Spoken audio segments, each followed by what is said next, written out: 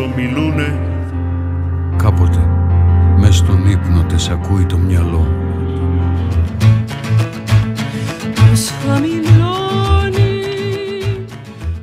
Τον μουσικό Γιώργο Δίπλα τον έμαθα πολλά χρόνια πριν από το θερμό κοινό του, το οποίο σέβεται απεριόριστα και αυτό τον ακολουθεί πιστά και του το ανταποδίδει.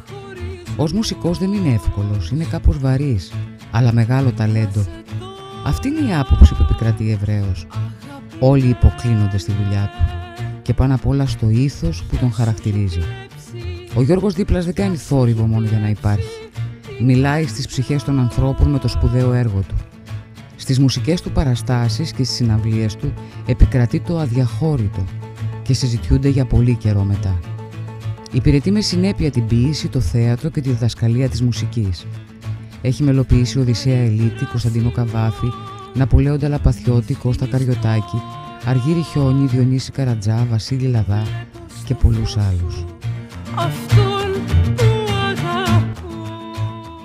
Από πότε αρχίσατε να νιώθετε ότι η μουσική θα σας κατακτήσει; Από πότε την αγαπήσατε τη μουσική; Θα ακουστεί κλισέ, αλλά από όταν θυμάμαι τον εαυτό μου. Νομίζω ήμουν Δευτέρα ή Τρίτη Δημοτικού. Που Ακούσματα είχαμε- στην οικογένεια; Ε, η μητέρα. Ναι. Φιλόμουση, ε, όχι ιδιαίτερα γνώστης της μουσικής, αλλά φιλόμουση και αυτή μας έσπρωξε και τα τρία αδέρφια στη μουσική. Εγώ τρίτη, Δευτέρα ή Τρίτη Δημοτικού μέσα μου είχα καταλάβει ότι θα γίνω μουσικός. Και έγινε μουσικός και η αδελφή σας, η, Η κυρία Νατάσα. Νατάσα δίπλα. Η Νατάσα δίπλα.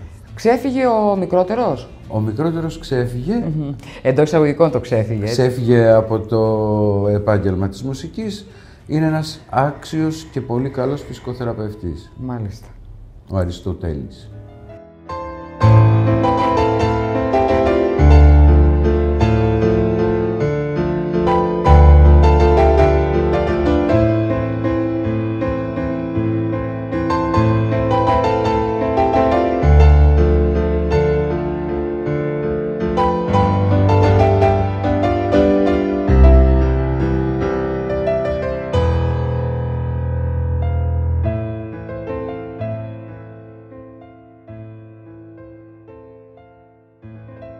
Η μουσική εξημερώνει τα ήθη.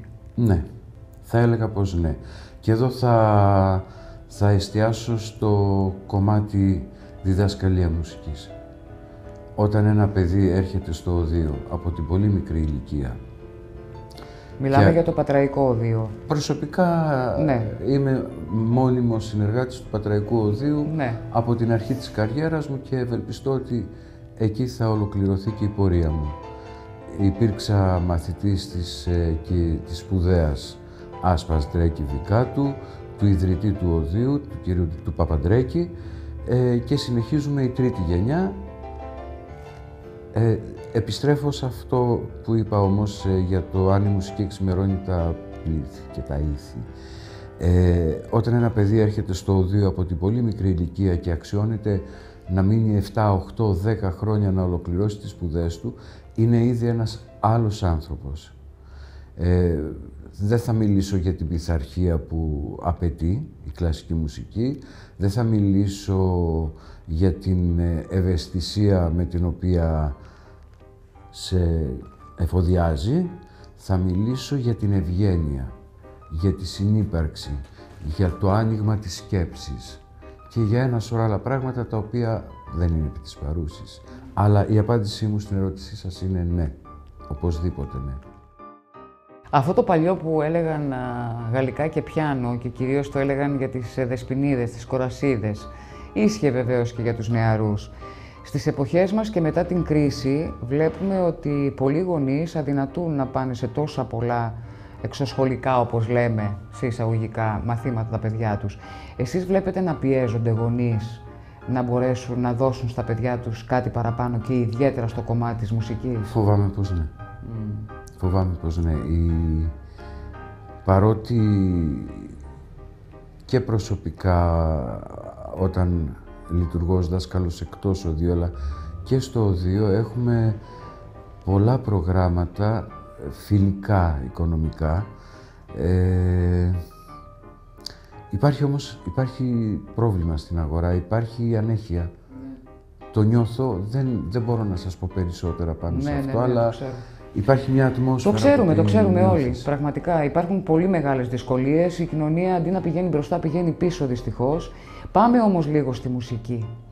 Ε, στο αγαπημένο σας έτσι είδος όσον αφορά τις τέχνες και τις άλλες τέχνες αγαπάτε, γιατί έχουμε δει πίνακες ζωγραφικής που έχετε. Και το χώρο αγαπώ και τη ζωγραφική αγαπώ και, την, και τους λογοτέχνες αγαπώ. Η μουσική είναι βέβαια η ζωή μου ίδια. Σε συνδυασμό με την ποίηση. Πολύ. Πολύ. Και γι' αυτό βεβαίως έχετε κάνει και όλες αυτές τις μελοποιήσεις ποιημάτων. Η ενασχόληση με την ποίηση ήταν η επιλογή μου αποφάσισα να την υπηρετήσω από την αρχή και ακόμα σαφώς κάποιες φορές υπηρετώ και το στίχο, υπηρετώ το θέατρο με μεγάλη χαρά, με τεράστια χαρά, οφείλω πολλά στο θέατρο, αλλά το μεγάλο μου πάθος είναι η μελοποίηση της ποίησης ε, και δικαιούμαι να πω ότι η μουσική μου μπορεί να, είναι, μπορεί να μην αρέσει, μπορεί να αρέσει από τη στιγμή που εκτίθεσε δημόσια. Είναι σίγουρο ότι κάποιους θα τους κερδίσεις, κάποιους δεν θα τους κερδίσεις. Αλλά αυτό που κανένας δεν θα μπορέσει να, να μου αμφισβητήσει είναι η συνέπεια στη διαδρομή. Η δισκογραφία μου, η εργογραφία μου και οι συναυλίες μου είναι όλες μελοποιημένη ποίηση. Έχω μελοποιήσει δύο φορές Οδυσσέα Ελίτη, έχω μελοποιήσει Λόρκα, Καβάφη, πρόσφατα, ε, Λαπαθιώτη, Καριωτάκη, Πολυδούρη, Μάνο Ελευθερίου. Ας με συγχωρήσουν, δεν, δεν ξέρω. Ναι, πάρα πολλά, πάρα πολλά κύριε Δίπλα. Πού να τα θυμηθείτε όλα;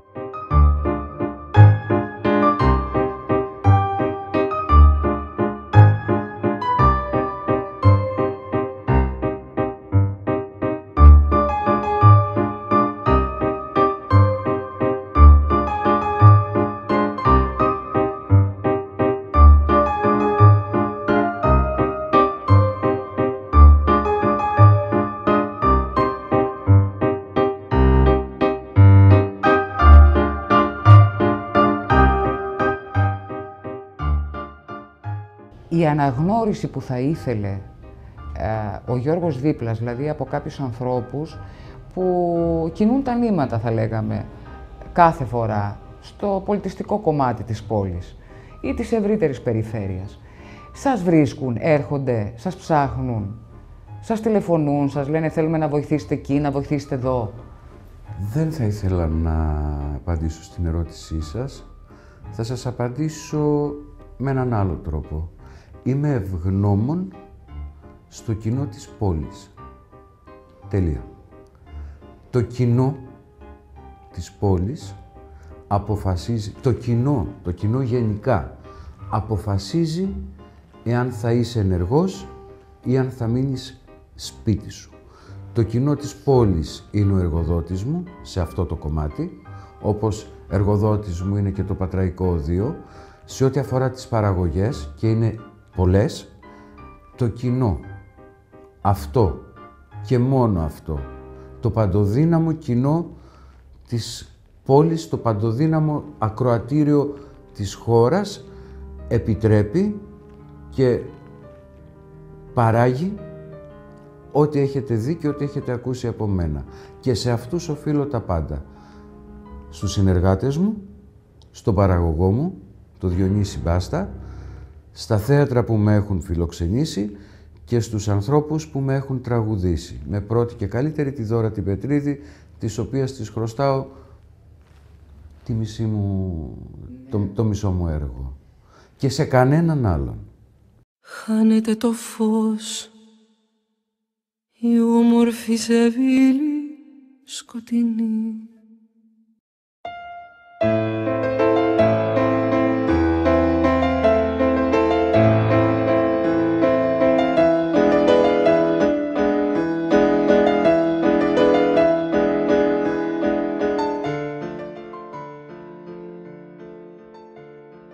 Ξεκίνησα, για παράδειγμα, με τον εξαιρετικό νέο συνεργάτη και φίλο, τον Αλέξανδρο τον Κουκιά, τον ηθοποιό, ο οποίος αποδείχθηκε και σπουδαίος ερμηνευτής. Ξεκινήσαμε τον Καβάφη για δύο παραστάσεις στο Θέατρο Επίκεντρο. Το κοινό αποφάσισε να γίνουν πέντε sold out παραστάσεις. Το κοινό έχει αποφασίσει ότι οι παραστάσεις αυτές θα συνεχιστούν γιατί δεν καλύψαμε τις, ε, τη ζήτηση που υπήρχε. Ναι. Ε, ε, διακόψαν για δύο λόγους. Ο ένας λόγος ήταν ότι ο, ο Αλέξανδρος κάποια στιγμή αδιαθέτησε από COVID, οπότε δεν μπορούσα να πιέσω τις φωνητικές του χορδές για να κάνουμε τις προγραμματισμένες παραστάσεις και μεσολάβησαν οι απόκριες που θεώρησα ότι δεν είναι καλή περίοδος. Βεβαίως θα, θα επιστρέψουμε και με άλλες παραστάσεις πάνω στο, στο project Καβάφης, όπως επίσης θα επιστρέψω και με κάτι πάρα πολύ σημαντικό έργο ζωής, την Ελλάσσονα Τριλογία. Η οποία είναι; Η Ελλάσσονα Τριλογία είναι ένα έργο που δουλεύτηκε από την αρχή τους τελευταίους μήνες ο Ναπολέων Λαπαθιώτης και η Μαρία Πολυδούρη έχουν ήδη δισκογραφηθεί. Ε, Λαπαθιώτης από τις εκδόσεις Διαπολιτισμός, τα λέω με τη σειρά που εκδόθηκαν χρονολογικά. Μαρία Πολυδούρη από τις εκδόσεις Το Δόντι. Ε, κάποια στιγμή θα δούμε τι θα κάνουμε με τον Καριωτάκη. Αυτό λοιπόν το τρίπτυχο, Λαπαθιώτης, Καριωτάκης, Πολυδούρη, είναι η, η Ελλάσσον τριλογία. Ε, μέσα στα χρόνια προέκυψαν πολλά περισσότερα από αυτά που υπάρχουν στη δισκογραφία. Μιλάμε για 47 μελοποιημένα πείματα και πιστεύω ότι στην η επόμενη σεζόν θα με βρει με τρεις τραγουδιστές, τρεις ηθοποιούς σε κάποιο χώρο που ήδη συζητώ ε, να διαδραματιστεί αυτό το τρίπτυχο στην οριστική του εκδοχή το οποίο θα είναι συγκεκριμένα για κάποιες ημέρες ή μπορεί να είναι ημιμόνιμο να το πούμε έτσι; Δεν θα ανακοινώσω το χώρο ακόμα, αλλά αυτό που συζητώ είναι να πάρω μία μέρα την εβδομάδα για καιρό και να κάνω ας πούμε το χώρο που θα, θα με στεγάσει στέκει όπου θα ξέρουν ότι κάθε Φερρυπίν κάθε Δευτέρα, κάθε Τετάρτη ε, μπορούμε να ακούσουμε μελοποιημένη ναι. ποίηση με, το, με, τη, με τον Γιώργο και την παρέα του. Ναι, αυτό νομίζω θα ήταν το καλύτερο και για τον κόσμο ο οποίος πραγματικά το θέλει.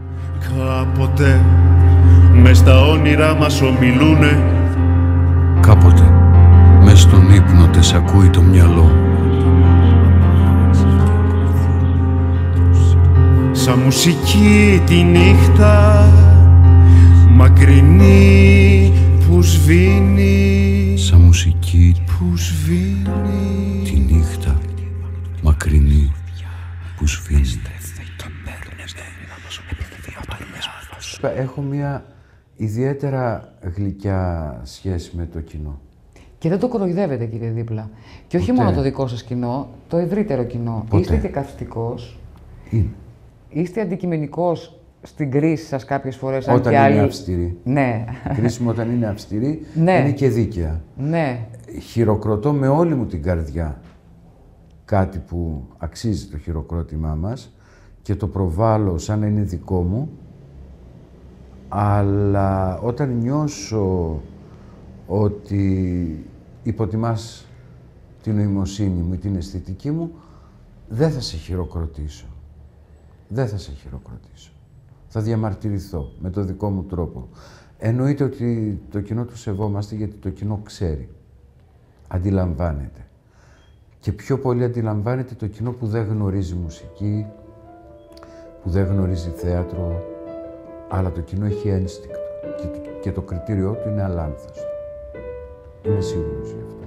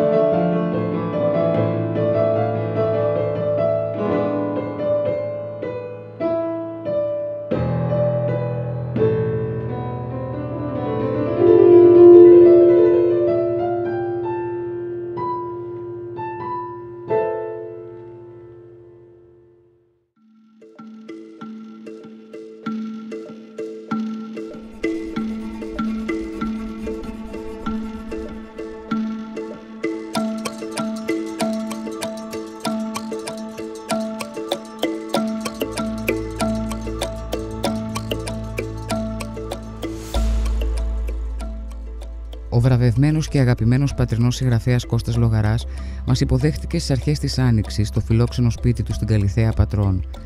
Με ένα εγκάρδιο χαμόγελο, φρέσκια λεμονάδα και γλυκό, μας υποδέχτηκε και η αγαπημένη του σύζυγος Αμαλία, στην οποία όπως ο ίδιος δηλώνει, οφείλει πάρα πολλά. Ο Κώστας Λογαράς δεν χρειάζεται ιδιαίτερες συστάσεις. Το βιογραφικό του πλούσιο και η ανάγνωσή του θα καλύψει αρκετή ώρα εκπομπής. Στο διαδίκτυο μπορεί εύκολα κανείς να αναζητήσει περισσότερες πληροφορίες τόσο για το σπουδαίο έργο του ως εκπαιδευτικός, όσο και για το πλούσιο συγγραφικό του έργο. Όπως έχει δηλώσει παλαιότερα, ο Ιούλιος Βέρν τον έβγαλε από την αυλή του σπιτιού του όταν ήταν μικρός και τον ταξίδεψε στους ανοιχτούς ορίζοντες, ενώ το βιβλίο «Αδριανού απομνημονεύματα» της Μαργκερίδ Γιουρσενάρ του άλλαξε την οπτική της ζωής και έβαλε τα θεμέλια στη συγγραφική του πορεία. Πιστεύει πως η γραφή είναι απελευθέρωση και μια προσπάθεια εξηλαίωσης, μια εξομολόγηση αλλά και ένα φαντασιακό πρόταγμα πώς θέλεις τον κόσμο καλύτερον, σε ποιον κόσμο θέλεις να ζήσεις.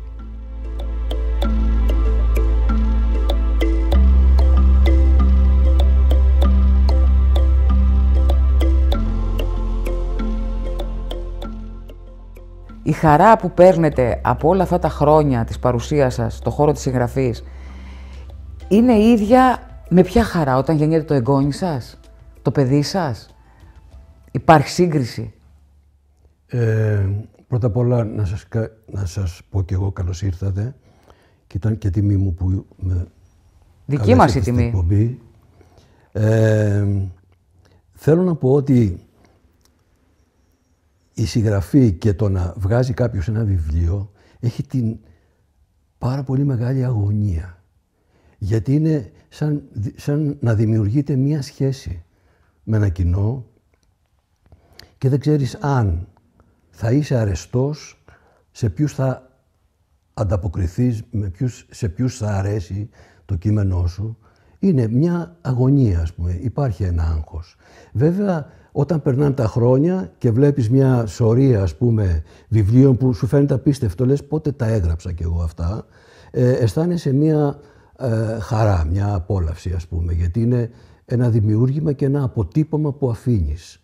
Αυτό το πράγμα είναι η συγγραφή. Έχετε συνεργαστεί με πολύ μεγάλους καλλιτέχνες και με ανθρώπους που άφησαν το αποτύπωμά τους και στην πόλη της Πάτρας. Μιλάω για το Θανάτο Μικρούτσικο. Ναι. Πηγαίνω πολλά χρόνια πίσω στο Διεθνές Φεστιβάλ Πάτρας. Νομίζω ότι ο Μικρούτσικος έφερε άλλον αέρα στην πόλη. Νομίζω ότι ε, αυτό που κατάφερε ο Μικρούτσικος ήταν πολύ, πολύ σημαντικό ότι πέρασε από την Πάτρα. Αυτό που κατάφερε ήταν να ενώσει, να ενώσει την πόλη. Κανέ, καμιά πολιτική δύναμη, κανένας πολιτικός δεν είχε καταφέρει αυτό το πράγμα. Και το κατάφερε ο Μικρούτσικος.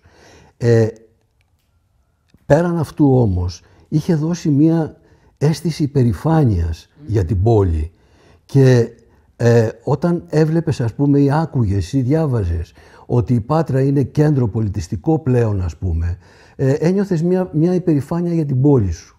Αυτό κατάφερε ο, ο Μικρούτσικος να μας δώσει και ήταν πολύ σημαντικό αυτό. Ε, ε, ήταν μια ευλογία, ας πούμε, το πέρασμα του Μικρούτσικου από την Πάτρα. Και άφησε πολύ έντονο το στίγμα του, ας πούμε, και την, την ταυτότητά του. Βέβαια. Επειδή έχετε και την εμπειρία της πολιτιστικής πρωτεύουσα και μάλιστα με ένα έργο σας το οποίο πήγε και στο εξωτερικό, το σκηνοθέτησε ο, ο κύριος Τρεζόπουλος, ο Θόδωρος Τρεζόπουλος, ο σκηνοθέτης, ε, μεγάλη επιτυχία. Υπάρχουν συγκρίσεις; Το φεστιβάλ του 87-88, το Διεθνές Φεστιβάλ Πάτρας, με τα μεγάλα ονόματα και η πολιτιστική πρωτεύουσα 2006. Ε, η πολιτιστική πρωτεύουσα ε, δεν, δεν την ολοκλήρωσε ο Θάνος. Έφυγε ο Θάνος. Σωστά. Και επομένως μπορεί, κανεί να, μπορεί κανείς να πει ότι ήταν ημιτελές το έργο του. Όμως ε, κάποια πράγματα ήταν Θάνος. Ε, από εκεί και ύστερα κατέρευσε αυτό το πράγμα, ας πούμε. Υπήρχαν πέντε-έξι παραστάσεις ε, εφτά ας πούμε ξέρω εγώ, οι οποίες άφησαν εποχή. Ε, αλλά δεν πρόλευε ο Θάνος να ολοκληρώσει την, ε, την παρουσία του εδώ και το έργο του. Γίνεται δίνει και μέσα της τον απορροφά φορτωμένο με μνήμες και εικόνες. Ένα αναφιλητό που πάει κάθε φορά να σβήσει και εκεί που λες τώρα τελειώνει το μαρτύριο, ξεκινάει πάλι κου, κου, κου, κου. Πάμε τώρα στη διαφορά που μπορεί να βλέπει ένας συγγραφέας που γράφει 20 χρόνια πριν και 20 χρόνια μετά ή και 30 χρόνια πριν, 30 χρόνια μετά, όταν έχει κατακλειστεί ο κόσμος από τα social media, το ίντερνετ πια θα λέγαμε ότι είναι το τρίτο μας χέρι, α, πώς νιώθετε όταν γράφετε κάτι εκείνη την ώρα; Ε, θα πρέπει να εξομολογηθώ πάνω σε αυτό. Ε, έχω την αίσθηση κάποιες φορές ότι η γραφή και η διαδικασία της και αυτό που λέμε αποτύπωμα γραφής είναι μία μάλλον ματαιοπονία. Δεν ξέρω αν αυτό είναι πια απώλεια χρόνου ζωής γιατί στη γραφή θυσιάζεις χρόνο, θυσιάζεις ζωή. Δεν ξέρω, μερικές φορές προβληματίζομαι αν αξίζει όλο αυτό το πράγμα να γίνεται ή ματαιοπονώντας χάνει κανείς τη ζωή του. Δεν το ξέρω αυτό το πράγμα. Δεν ξέρω τι θα γίνει μετά από κάποια χρόνια. Ε, και δεν ξέρω πώς θα έχουν αλλάξει τα πράγματα. Δηλαδή, εάν με την τεχνητή νοημοσύνη μπορεί κάποιος να γράψει ένα μυθιστόρημα, ε, δεν ξέρω τι αξία θα έχουν πια τα μυθιστορήματα ή η γραφή ενός συγγραφέα. Δεν ξέρω πώς μπορεί να αλλάξουν τα πράγματα. Θα ακουμπά μόνο, συγγνώμη που διακόπτω, τους, τους γραφικούς, γιατί πολλούς μας λένε και γραφικούς σήμερα οι πιο νέοι.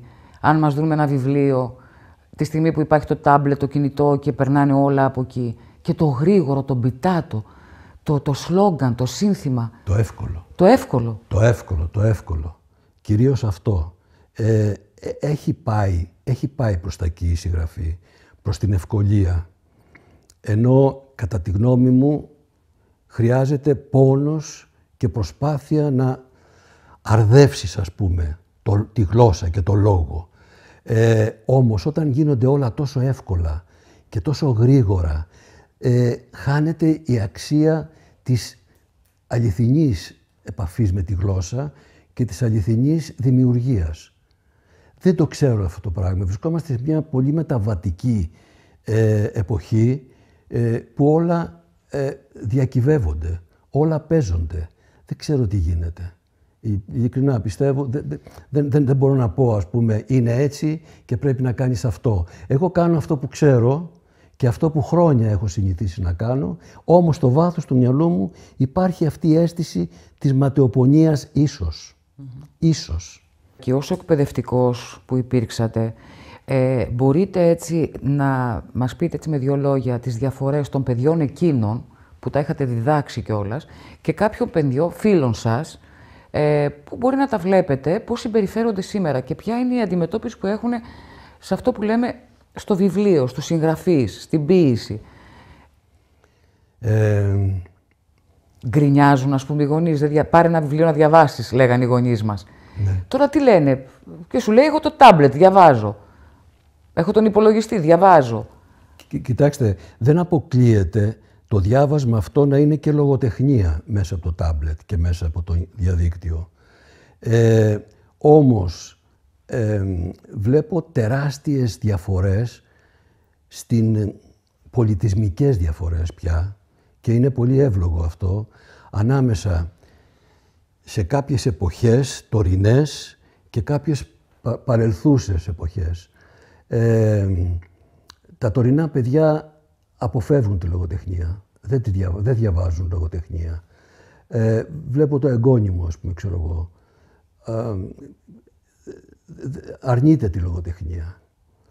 Ε, Ίσως επειδή είναι και στην εφηβεία τώρα και τον απασχολούν κάποια άλλα πράγματα. Μπορεί, μπορεί, μπορεί. Ναι. μπορεί.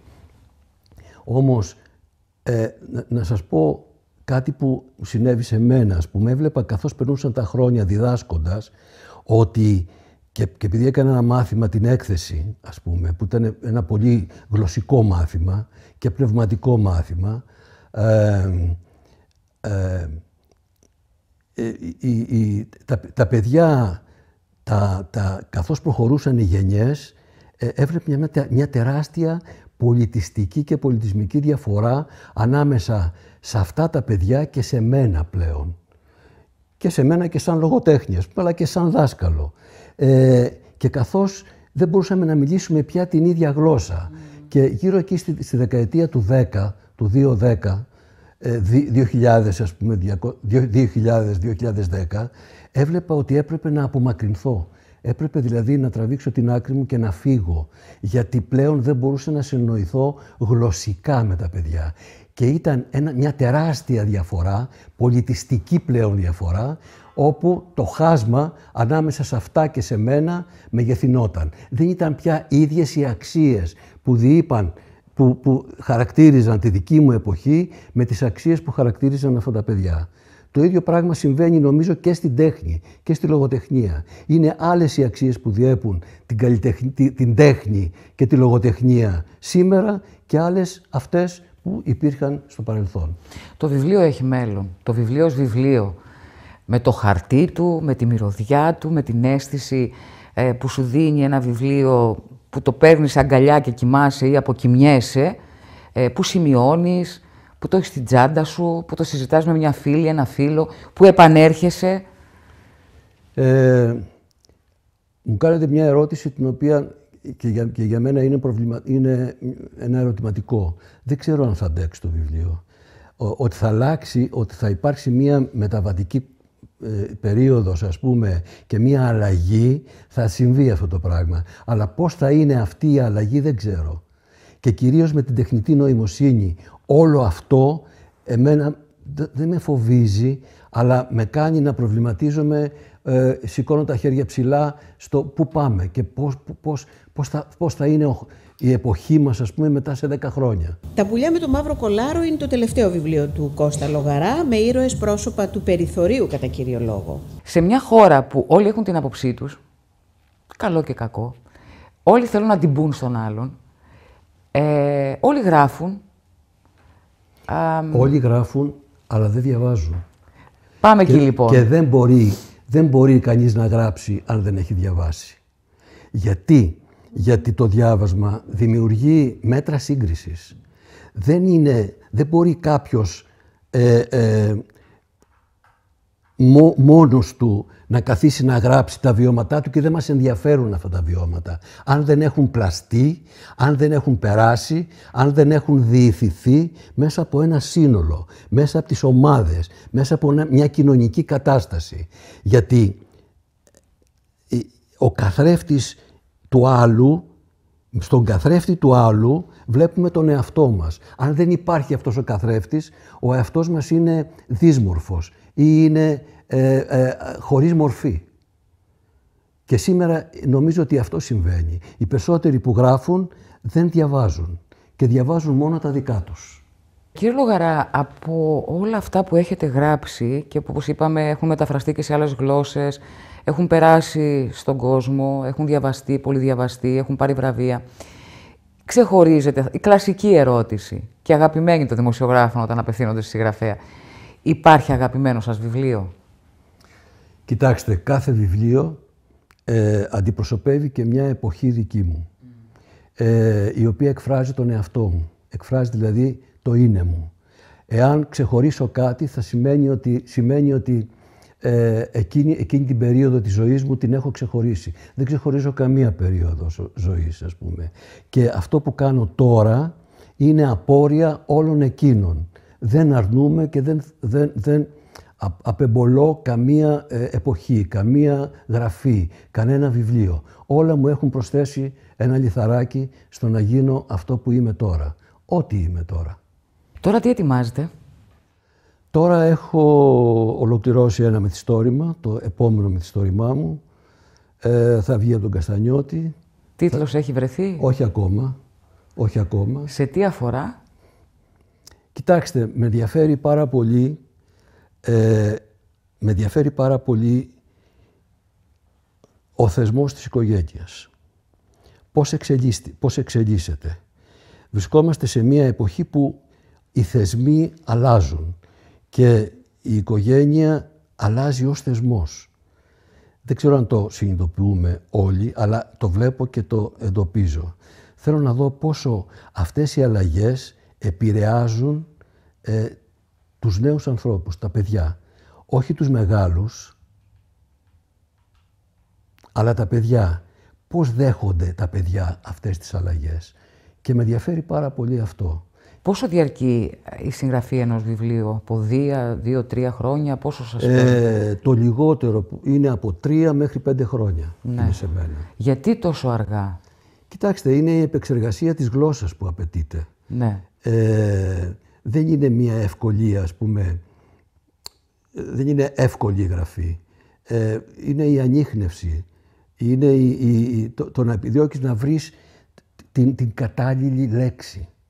Και αυτό γίνεται σελίδα-σελίδα, γίνεται γραμμή προς γραμμή, γίνεται φράση προς φράση. Και επανα...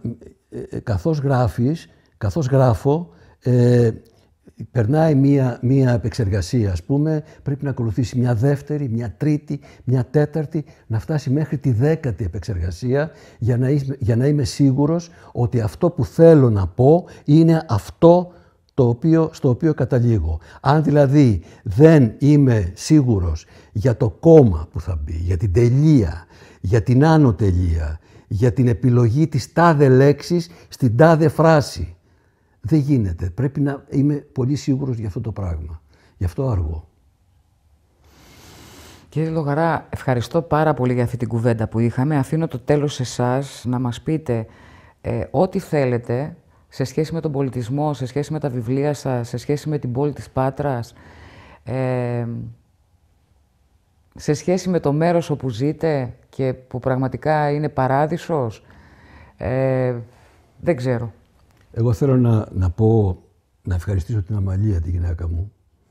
Είμαστε 50 χρόνια μαζί και χωρίς την ύπαρξή της δεν θα έχει γίνει τίποτα. Ούτε ο χώρος αυτός, ούτε η γραφή μου θα ήταν ίδια. Ε, με φροντίζει, με προσέχει και ε, δημιουργεί την ατμόσφαιρα, το περιβάλλον, το χώρο, ώστε εγώ να δουλεύω, εγώ να γράφω. Και γι' αυτό την ευχαριστώ. Είναι ένας, ένας άνθρωπος αντιφατικός, ένας δυσπρόσιτος άνθρωπος με μια ψυχολογία η οποία είναι δεν μπορεί, να, δεν μπορεί να, κανείς να τη συλλάβει, να, να την ακουμπήσει εύκολα.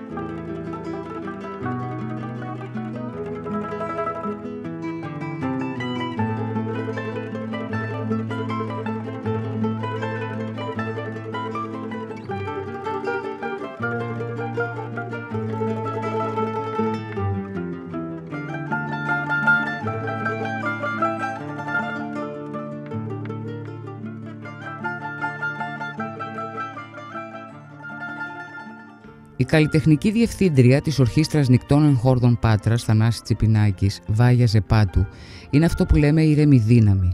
Όμορφη, αέρινη και ευγενική παρουσία, σοβαρή, δυναμική και πρόσχαρη. Τα υπέροχα γαλάζια μάτια της βουρκώνουν όταν θυμάται την αδελφή της Μέρη από τα παλαιότερα μέλη της ορχήστρας που έφυγε πρόωρα από τη ζωή, ενώ χαμογελά και λάμπει όταν μας μιλά για το μικρό της γιο το Θανάση. Η Ορχήστρα Ανοιχτών Αγχόρδων του Δήμου Πατρέων ιδρύθηκε το 1985 από το Θανάση Τσιπινάκη, καλλιτεχνικό διευθυντή και μαέστρο της, έως το 2012 που έφυγε από τη ζωή. Από τότε την καλλιτεχνική διεύθυνση της ορχήστρας έχει η Βάγια Ζεπάτου, μουσικολόγος, μέλος της ορχήστρας. Η ορχήστρα λειτουργεί με τη στήριξη του πολιτιστικού τομέα του Δήμου Πατρέων. Παίζω σε αυτήν την ορχήστρα από το 1996. Ήμουνα 14 ετών όταν πρωτομπήκα. Τι ήταν αυτό που σας έκανε να μπείτε στην ορχήστρα; Ε, ήταν οικογενειακή λόγη. Ο μπαμπάς μου ήταν ιδρυτικό μέλος της ορχήστρας. Ε, όταν ο Θανάσης Τσιπινέκης Ο κύριος αποφάσισε... Γιώργος Ζεπάτος, ναι. γνωστός, πρώην πρόεδρος του Τεχνικού Επιμελητηρίου. Ναι. Ήταν λοιπόν μαθητής του Θανάση Τσιπινάκη ε, και όταν ο Θανάσης Τσιπινάκης αποφάσισε να φτιάξει την ορχήστρα, του είπε «Γιώργο, θα έρθεις». Μα λέει ο μπαμπάς μου «Δεν παίζω τόσο καλά κιθάρα, θα έρθεις και με το χρόνο θα συνεχίσουμε και τα μαθήματα και θα, είναι, θα είσαι πάρα πολύ καλός». Έτσι ξεκίνησε λοιπόν η οικογενειακή μας σχέση με την ορχήστρα. Στην πορεία, ε, ο μπαμπάς μου αποφάσισε να, να μας φέρνει στην ορχήστρα για να προλαβαίνει η μαμά μου να κάνει κάποιες δουλειές στο σπίτι, οπότε ερχόμασταν από μικρά, παρακολουθούσαμε, καθόμασταν εκεί πάνω Εσείς στην έδρα. Και η αδελφή σας. Εγώ και η αδερφή μου. Παρακολουθούσαμε τις πρόβες. Πλέον είχαμε γίνει η μασκότ της ορχήστρας γιατί όλοι μας ξέραν και μας πειράζαν σαν τις μικρές. Μετά ξεκινήσαμε μαθήματα. Πρώτα μπήκε η αδερφή μου στην ορχήστρα, ήταν ε, δυόμιση χρόνια μεγαλύτερη μου και μπήκε η αδερφή μου στην ορχήστρα, έπαιζε μαντολίνο κι αυτή και μετά ακολούθησα κι εγώ. Οπότε στην ουσία έτσι ξεκίνησε. Υπάρχει μια καταγωγή, υπάρχει ο μπαμπάς μου, είναι, κατάγεται από την Κεφαλονιά, ήταν και η γιαγιά μου και ο παππούς μου, οπότε υπήρχε και η αγάπη για το μαντολίνο και την κιθάρα ε, και έτσι κάπως μεταφέρθηκε και σε εμάς. Η μισή ορχήστρα είναι άτομα τα οποία έχουν προσφέρει όλη τους τη ζωή εδώ μέσα. Δεν είμαι μόνο εγώ, η αδερφή μου, ο μπαμπάς μου. Είναι πάρα πολλοί άνθρωποι οι οποίοι αγαπάνε παθιασμένα την ορχήστρα. Είναι η δεύτερη οικογένειά τους κυριολεκτικά όμως. Ερχόμαστε εδώ πέρα, περιμένουμε την Πέμπτη και την Κυριακή για να συναντηθούμε οι φίλοι και η οικογένεια να παίξουμε μουσική. Ναι. Ε, πέμπτη και Κυριακή, δύο Ναι. μέρες, κάνετε πρόβες, οι λεγόμενες γενικές πρόβες. Ε, και βεβαίως βρίσκεστε και οι υπόλοιποι έχουν τις δουλειές τους, εσείς έχετε τις δουλ- είστε δασκάλα, έτσι, μουσικής. Ε, μ, είναι πολύ ωραίο αυτό που συνεχίζετε τόσα χρόνια και δεν έχει διασπαστεί, που σημαίνει ότι σας συνδέουν πάρα πολλά πράγματα. Ναι. Είναι, είναι ο στόχος, ο, ο στόχος που έχει η ορχήστρα και αυτό μας το μάθε ο Θανάσης Τσιπινάκης. Προσπαθώ και εγώ με τον τρόπο μου να το μάθω στους νεότερους. Είναι η αγάπη για το όργανο που ο καθένας μας παίζει και η αγάπη μας γενικά για τη μουσική, για όλη αυτή την αλληλεπίδραση που υπάρχει μέσα στην ορχήστρα. Με άλλους μουσικούς, με καλλιτέχνες, με καινούργιες μουσικές και ενορχιστρώσεις και υλικό. Οπότε δεν σταματάει ποτέ η αγάπη σου, γιατί είναι αγάπη, γιατί είναι, το έχεις επιλέξει, είναι το αγαπημένο σου χόμπι. Εγώ μπορεί να δουλεύω, ε, να δουλεύω λίγο παραπάνω για την ορχήστρα. Οι υπόλοιποι δεν το νιώθ, ούτως ή άλλως δεν το νιώθουμε δουλειά. Είναι Ναι. κάτι που το κάνουμε αβίαστα. Λέμε ότι θα περάσουν τα χρόνια, θα είμαστε με τις μασέλες και ακόμα θα παίζουμε το τρέμολο και δεν θα μπορούμε να κρατηθούμε. Ναι, ναι. Είναι κάτι που είναι από μέσα μας, δεν είναι... μ, Ξέρετε, ήταν πολύ πρωτοποριακό για εκείνη την εποχή, πριν από χρόνια, τη δεκαετία του 80 που αποφάσισε να φτιάξει την ορχήστρα ο Θανάσης Τσιπινάκης, οι περισσότεροι τον γνωρίζουμε. Ε, εγώ τον είχα γνωρίσει από την αίρα πατρών. Και το όνειρό του αυτό πραγματικά στην αρχή είχε ξενήσει λίγο κάποιους. Σου λέει μαντολίνα, στην Πάτρα, τι είναι το μαντολίνο, ήταν λίγο άγνωστο. Αλλά το αγάπησε τόσο πολύ η πόλη, φαντάζομαι ότι αφιερώνεις πάρα πολύ χρόνο, πρέπει να πείσεις κόσμο, αλλά το αγάπησε τόσο πολύ η πόλη και αργότερα το αγάπησαν κι άλλοι και οι συναυλίες νομίζω ότι είναι αυτό που λέμε η έκφραση στην Ελλάδα sold out, έτσι. Σας έχει απασχολήσει αυτό το ένιγμα;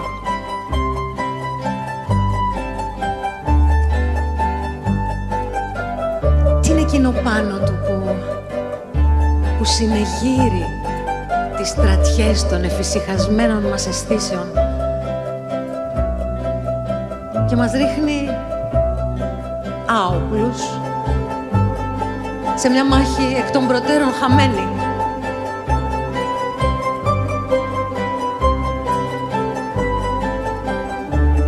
Σε ποιο σημείο βρίσκεται η δύναμη του άλλου; Οι μεγάλοι καλλιτέχνες βοήθησαν πάρα πολύ στο να γίνει γνωστή η ορχήστρα Βέβαια, βέβαια. μέσα από τις συναυλίες και φαντάζομαι ότι μ, αυτή είναι και η ικανοποίηση που έχετε εσείς η μουσική τελικά, έτσι δεν είναι; Δεν είναι η δημοσιότητα. Είναι το ότι συνεχώς έρχεσαι αντιμέτωπος με καινούριο υλικό ε, και η- είναι η ανάγκη σου να παίξεις καινούρια πράγματα και να παίξεις συναυλία. Δεν είναι ότι αυτό σου δίνει ένα περισσότερο κίνητρο να, να εμφανιστείς στις συναυλίες, το να σε μάθει πάλι ο κόσμος ή να σε ξαναδεί ο κόσμος. Η ορχήστρα έχει πολύ βαρύ βιογραφικό και γιατί έχει μ, προσεγγίσει ακόμα και τους πιο δύσκολους, τους πιο απαιτητικούς καλλιτέχνες.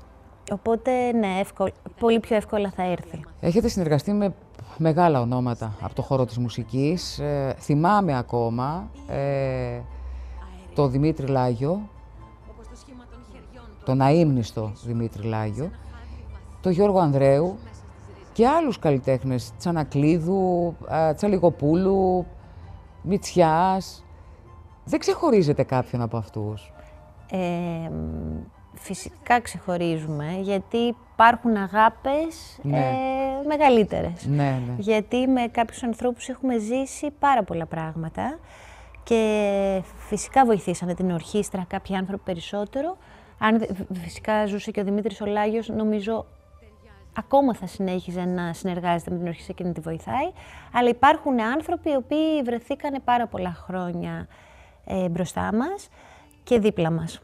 Ο Γιώργος ο Ανδρέου, για παράδειγμα, φυσικά είναι τεράστια ιστορία για την ορχήστρα. Η Ελένη Τσαλιγοπούλου, η Τάνια Τσανακλείδου, ή- ήταν από τις πρώτους ανθρώπους που βρεθήκανε στην ορχήστρα. Και... Βλέπουμε πάρα πολλές φωτογραφίες εδώ. Ε, Δεν υπάρχει κάποιος καλλιτέχνης, Κότσιρας, Δάρα. Ε, βλέπω το συνθέτη, το Παπαδημητρίου, Σαββόπουλος πίσω. Το Μίμη τον Μπλέσα. Είναι- είναι- το είναι- Μάριο το Φραγκούλη, ναι. Είναι, Είναι ά- άπειροι, άπειροι. άπειροι, πραγματικά. Άπειροι. Μεγάλη αγάπη για τους πατρινούς. Η Βάγια Ζεπάτου. Δεν θα πω για την ορχήστρα, η ορχήστρα είναι.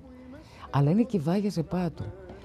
Αισθάνεσαι ότι έχεις κάτι βαρύ στους ώμους σου ή οι συναδελφοί σου στην ορχήστρα και η όλη ορχήστρα σε βοηθάει να, να προχωράτε πάντα μπροστά; Το είπες μόνη σου. Αυτό, ε; Ναι. Αυτό. Είναι μόνο σου, δεν μπορείς να, να πηγαίνεις πουθενά μία ορχήστρα. Η ορχήστρα σε πάει, οπότε καλείσαι κάθε φορά να, μ, να καλύψεις τις ανάγκες της ορχήστρας. Ναι. Δεν μπορώ να φανταστώ. Υπάρχουν φορές που θυμώνετε, που κάνετε κάποια παρατήρηση, ας πούμε, σε αυστηρό. ε, Δεν, δεν μπορώ να σας φανταστώ δεν θυμώνω με αυστηρή. τους ανθρώπους, θυμώνω Ναι. με συμπεριφορές τους, Ναι. αλλά όχι, δεν θυμώνω με τα παιδιά της ορχήστρας καθόλου. Είναι άνθρωποι οι οποίοι έχουν ε, επιλεχθεί με, και έχουν διαλέξει οι ίδιοι να βρίσκονται εδώ, γιατί το να παίζεις μαντολίνο δεν είναι αυτονόητο. Μαντολίνο έρχεσαι να μάθεις εδώ. Μπορεί να ξέρεις και αλλού και να έρθεις εδώ πέρα να το βελτιώσεις, να το, να το αλλάξεις. Αλλά οι άνθρωποι που έχουν επιλέξει να μάθουν μαντολίνο είναι συγκεκριμένοι. Πα- σε όλα τα πράγματα, αλλά και σε αυτό. Ε, εντάξει, προσφέρεται δωρεάν προς τους πολίτες της Πάτρας. Είναι μια προσφορά του Δήμου Πατρέων. Τα μαθήματα γίνονται δωρεάν. Ε, αλλά θέλει ο άλλος για να, για να μπει στην ορχήστρα, για να γίνει κομμάτι αυτού, έχει παλέψει για αυτό το πράγμα, για να κατακτήσει αυτό το πράγμα. Οπότε τους γνωρίζω πολλά χρόνια, οι περισσότεροι είναι μαθητές μου. Ε, Δεν μπορώ να έχω... μ, Τους ξέρω και από την καλή και από την κακή. Ναι, ναι, ναι. Καταλαβαίνω. Και επίσης η ορχήστρα έχει ένα μαγικό φίλτρο από μόνη της. Δεν συγκρατεί προβληματικές συμπεριφορές. Αν εγώ συμπεριφερθώ περίεργα, η ορχήστρα από μόνη της το έχει κόψει. Αν ένας νέος άνθρωπος που δεν έχει μ, προ, προφανώς τη διάθεση να κοινωνικοποιηθεί και να ανοιχτεί στην ορχήστρα, θα φύγει μόνος του. Ναι, ναι. Πολύ ωραίο αυτό. Σημαίνει ότι έχετε δέσιμο. ε, Είναι Ναι. αυτό που λέμε, ξέρει ο ένας τα χνότα του άλλου. Και είναι συγκεκριμένοι, είναι, υπάρχουν αρχές. Υπάρχουν δηλαδή, αρχές. Υπάρχουν Βέβαια. αρχές. Βέβαια. Όταν ένα σπίτι λοιπόν έχει αρχές, όπως είναι αυτό το σπίτι εδώ πέρα, δεν μπορείς να παραστρατήσεις, δεν μπορείς να, είσαι, να κάνεις τα δικά σου, έχεις μάθει με συγκεκριμένο τρόπο να, να λειτουργείς και να σκέφτεσαι. Υπάρχει κάποια συμβουλή που την εφαρμόζετε ακόμα, που σας είχε δώσει ο Αίγνιστος Θανάσης Τσιπινάκης; Ο Θανάσης μας έδινε πάρα πολλές συμβουλές, πράγμα το οποίο εγώ δεν κάνω, να ξέρετε. Ε, μ, συμβουλές... ε, μ, δεν ξέρω, μάλλον έχουν περάσει στο DNA μου, δεν μπορώ να τις ονοματίσω. Σίγουρα η πειθαρχία και η συνέπεια ήταν ε, από τα μεγαλύτερα διδάγματά του. Ε, μ, και ο επαγγελματισμός στο βαθμό βέβαια που είναι δυνατόν, γιατί δεν είμαστε όλοι οι μουσικοί της ορχήστρας του ίδιου επίπεδου.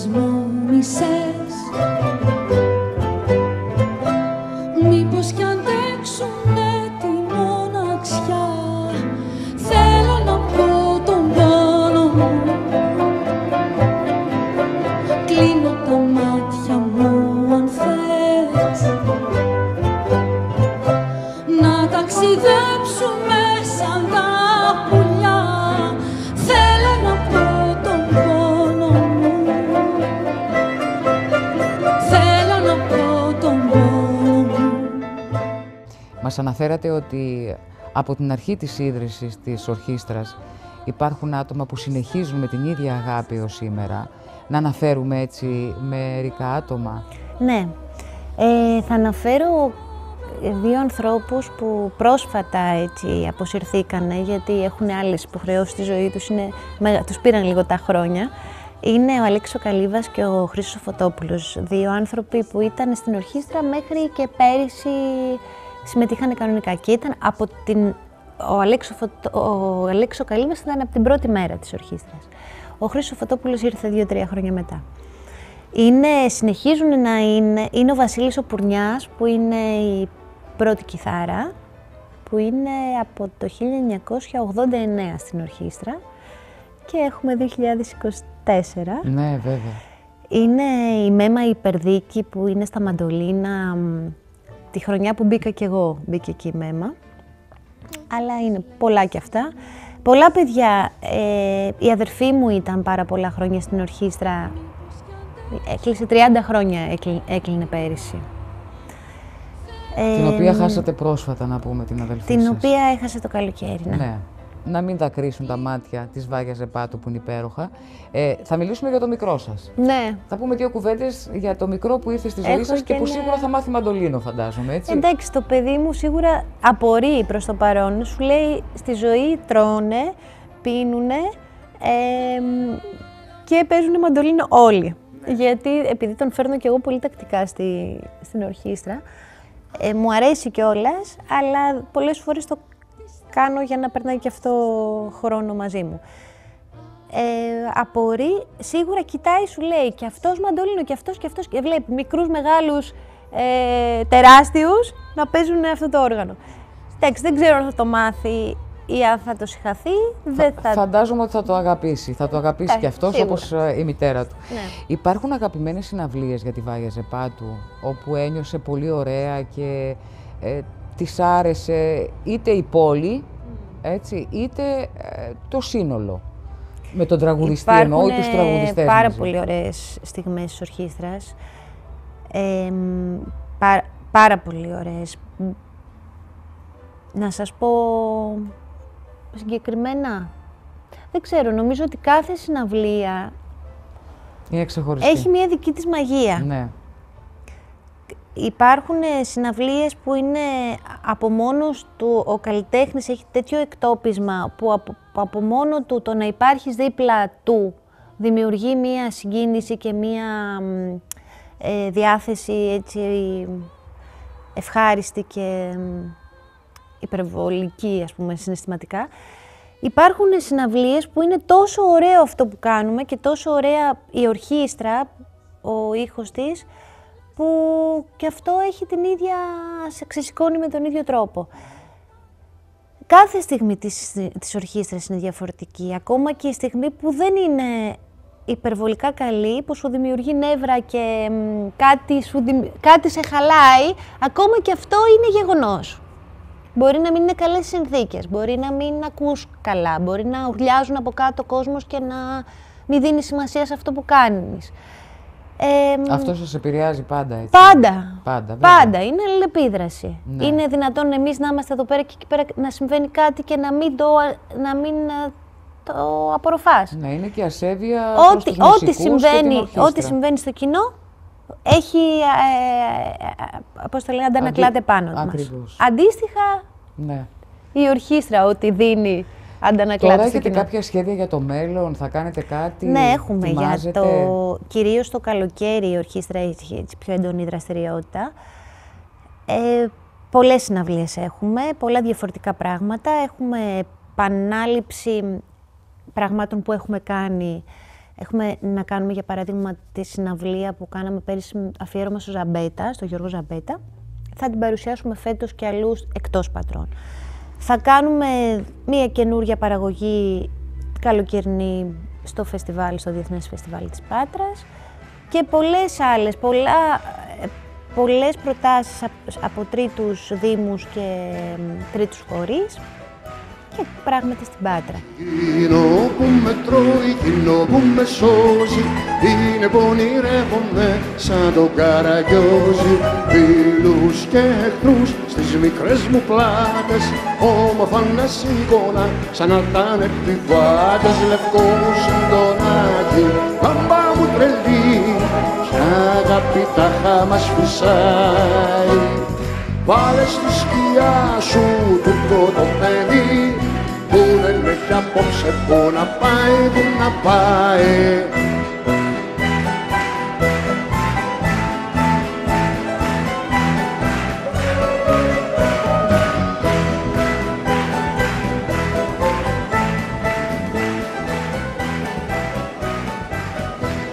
Σαν κούκια μετρώ τα λόγια του καμπούρι πίσω από το